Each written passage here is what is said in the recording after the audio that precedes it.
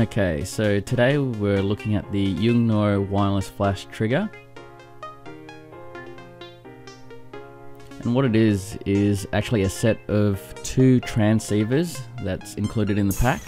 And there's also an N3 cable. Now, you can see here we're in a multi-level car park.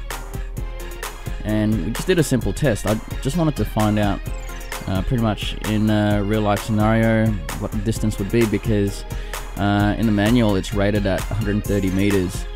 So um, just had one of the transceivers hooked up to the Canon on the left of the screen that you can see there.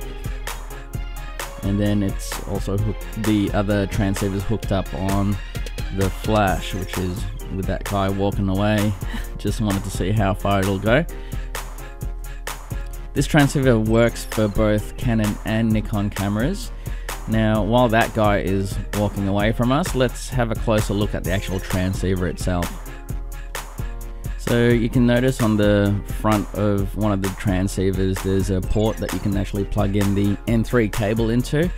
So the cable goes into there and the other end of the cable plugs into your camera. So you can actually use the other transceiver to remote trigger the actual camera itself to take photos. So it's it's not just for flash, you can also use it for your camera as well. Alright, so I've got the guy with the camera moving backwards now because the guy with the flash has already reached the very end of the car park and the flash was still going so I wanted to see really how far it would work so we pretty much went backwards and we got right to the end of the car park both ends and it was still going so very impressed with that